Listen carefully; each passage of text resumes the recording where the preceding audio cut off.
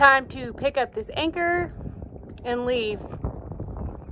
Bittersweet, but I can't wait to see what the Intercoastal has to offer us.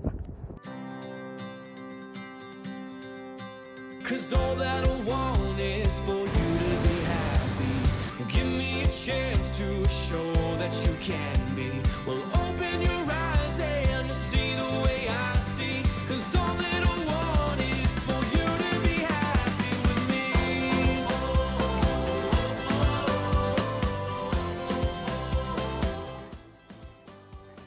Charles and I are anchored off the coast of South Carolina in the remote and idyllic Steamboat Creek. Unfortunately, we have to get back to Charleston today, and we decided to take the ICW route home with a quick stop for lunch at Wappoo Creek. The whole trip is 30 nautical miles and it'll take about five hours underway. Tonight I leave familiar for the great unknown. Got a couple broken arrows and my hair is grown since you saw me last. Talking on an old flip phone. I shed the skin of who I used to be. Got Sinatra on the 45, I'm buzzing like And we're off. First thing is to get out of Steamboat Creek. We're doing about four and a half knots right now because we're fighting an incoming tide as we get out of this creek. But once we get actually into the North Edisto River, we will be going with the tide um, so we should pick up a good amount of boat speed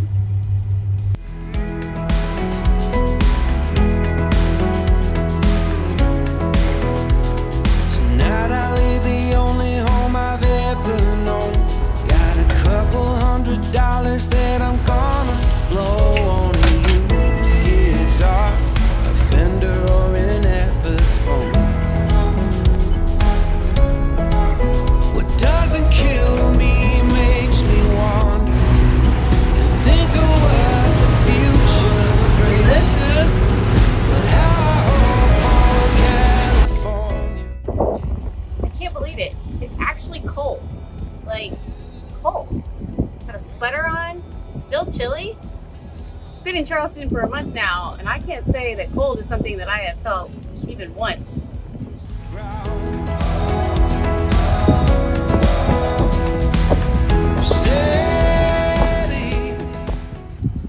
Now, like we're already up to six knots. We haven't been doing four and a half, more than four and a half yet, and now at six point one, like. Just the current. Yeah. yeah. We're going with it now.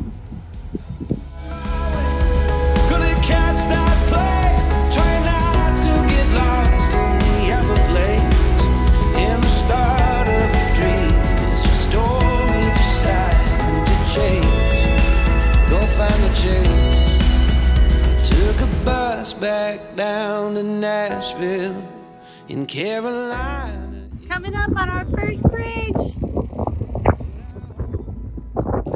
How tall is this bridge? 65 at high tide.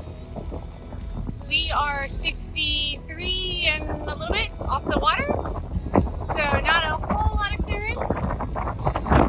My heart is going pretty quick right now. I know the chart says it's fine. We should have a few extra feet, but whew, wish us luck. As we're approaching this bridge, my heart is racing. I saw a sailboat the other day approach a bridge and not clear it and the mast just hit the top of the bridge and the whole boat go backwards and it actually pulled the boat, the hulls of the, of the catamaran out of the water and that image just continuously plays through my mind right now. The closer we get, the shorter it looks. Oh boy.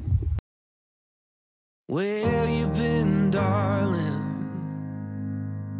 Chasing after God in a wayward car.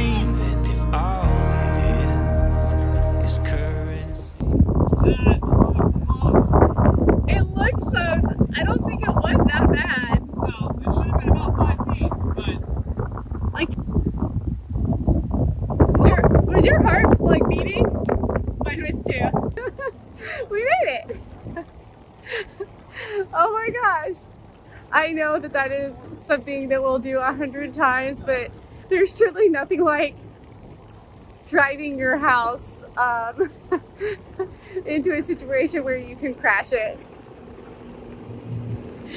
and the sweet relief that you didn't.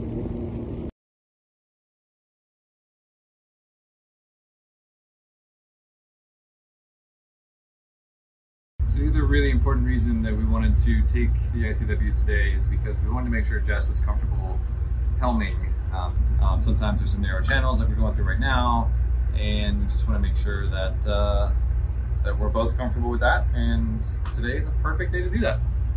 Right now, uh, she's at the helm. I'm just making some more coffee, and uh, there's some docks, maybe 100 feet on our port side, and the channel markers maybe 50 feet on our starboard side and she's doing great.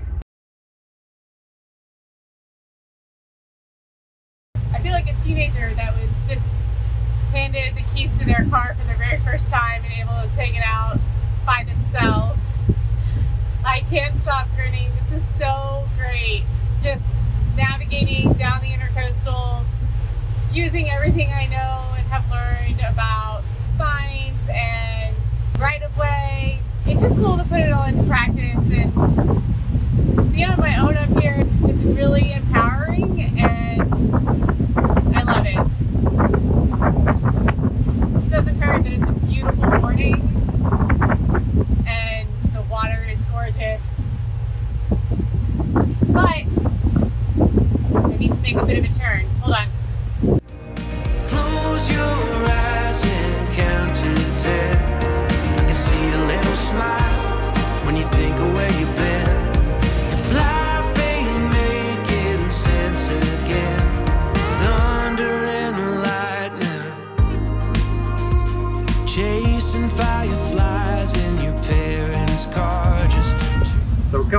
Elliott Cut, and supposedly the current here is gnarly sometimes, and that's why we left when we did.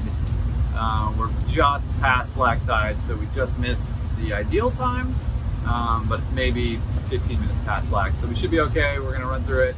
Um, we'll also have the current going with us instead of against us, but apparently it can get up to about seven knots when it's actually ripping through. So we'll get through there, and then uh, we're either gonna stop for lunch uh, drop the anchor right before the only droppers we have to go through and grab some lunch or uh, if that anchor is full we'll just uh, wait until the bridge goes up and then uh, head on over the bridge. And just like the bridge, I'm getting a little nervous. It's pretty narrow. And you know the charts say that the current should be good, but it still looks like it's moving pretty good in there.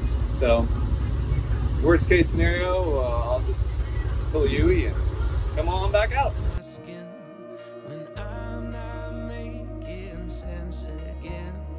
When life ain't making sense again, you can always call a friend. Take a look into their eyes. Navionics Live dropped down to four and a half knots. We were going, now that we're out of it, we're going six and a half. So there was even some ripples, uh, whitewater as we came in. So that was that was pretty gnarly. But uh, we're out of it, and we're gonna go see if we can't get into the anchorage and grab some lunch. We made it through the cut and we're gonna anchor for a little bit, make some lunch. And this morning when I was anchoring, I dropped the bridle into the water. Wah, wah. So I'm going to try and redeem myself by fixing it while we're here for lunch. How many feet are we in? Same as last time. 75? Going down? Yeah.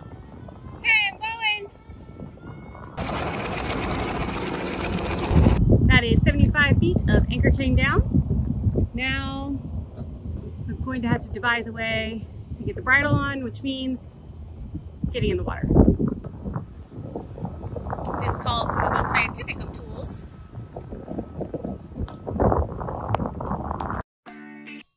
Don't kill my vibe, baby. I'm walking out on I think I got a kid's her inner Baby, I'm walking on the moon. Oh, oh, oh, I'm walking on the moon. Walk with me. Come down here, yeah. Well, on video I can't see. Oh, there you are. Aha! Let's see if that's on right. Ah! Get it on? Fine. That's one way to put a bridle on. That is one way. Hold on, here. So, bridle is back on. Now, should I go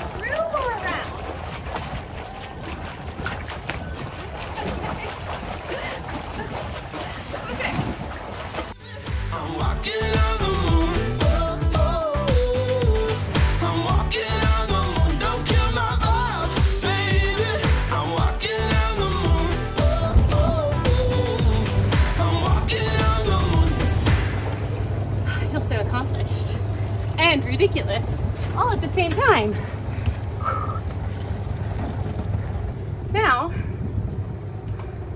now I can go finish setting my anchor.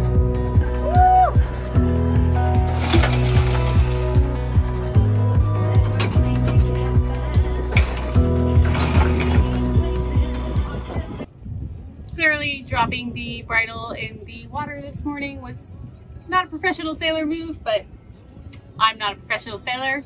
It's just in. Um, so uh, wanted to fix it in a way I knew how. Could have blown up the paddleboard, could have got the dinghy down, but honestly, I was kind of in the path of least resistance between me and my food. So took a couple of seconds to blow up that inner tube and worked like a charm. Do I feel somewhat ridiculous? Absolutely. But do I know everything about what I'm doing? Hell no. Um, so it worked and if anybody was watching, including y'all, at least you got a good show out of it.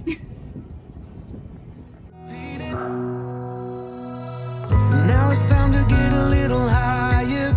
When God made you and made a fighter, you just spent a little more time feeling lost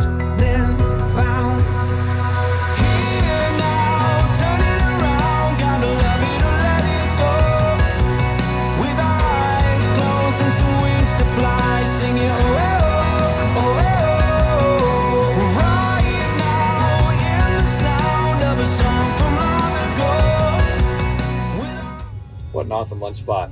The current swung around, and where we anchored originally was too close to a marsh for the current to swing around to be comfortable. So we've been here for about two or three hours, and we're just going to pick up and keep going now.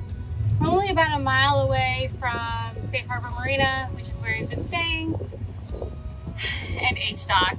So it's a little bitter, just bitter to be going back. It was so nice to be out and exploring a little bit. Wappoo Creek Bridge. This is eastbound sailing catamaran. Bridge. Hey, I'm uh, requesting a lift at your earliest convenience. Thank you.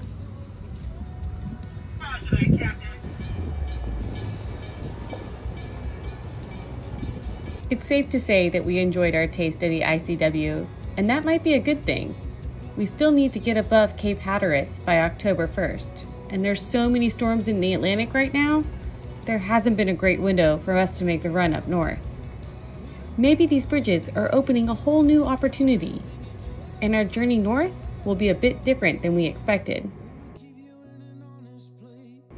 Tune in next week to see what we decide.